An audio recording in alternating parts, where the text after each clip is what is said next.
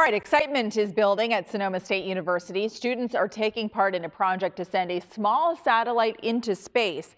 A rocket carrying that satellite was launched, scheduled to launch from Vandenberg Air Force Base tomorrow. The launch has been postponed because of all this weather we're having, but John Ramos heard from students who are eager to put their learning into orbit. With the weather currently over California, the launch date is now wait and see. But when the rocket does finally take off, in some ways, it will be taking a small part of Sonoma State University with it.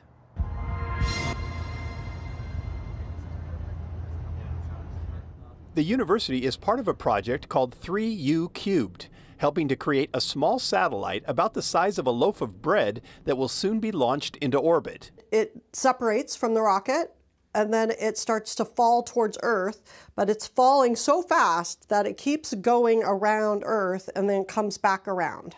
That's the way all satellites work, and they can stay up there for years, even decades, before coming back down.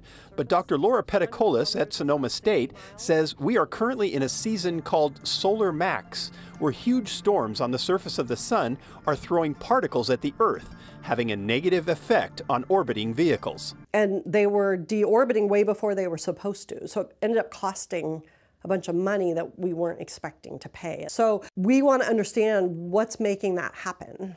That's what the 3U cubed satellite will be studying, and it will be monitored from the roof of one of the school's buildings. Uh, this receiver will gather data for about 5 to 10 minutes every 12 hours as the satellite passes overhead. They're particularly interested in a focused area called the cusp, which sits high up on the globe. Let's say my hand is the cusp region above my head, right?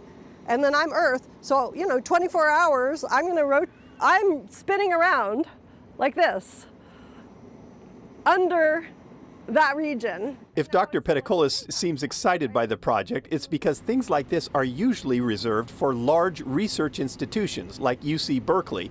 Sonoma State is considered a teaching university, but she thinks there is an important benefit to including them doing research with students is a way to train the next generation of teachers and professors. And so teaching universities need these kind of real life experiences so that our students can go out and speak about what it is to be engineers and be scientists and be computer scientists in the real world. And that excitement seems to be contagious. I was pretty like hesitant in like diving deep into physics, but after I took the first semester, like I started to like fall in love with it. It's a small school, so it's kind of hard to not be passionate about some, such a small like program, you know, so everyone here knows what they're doing. They know what they want to teach and it's very specialized. So uh, I do enjoy my time here. That may be a bit ironic because physics is one of the majors that was eliminated along with team sports in last year's budget cuts.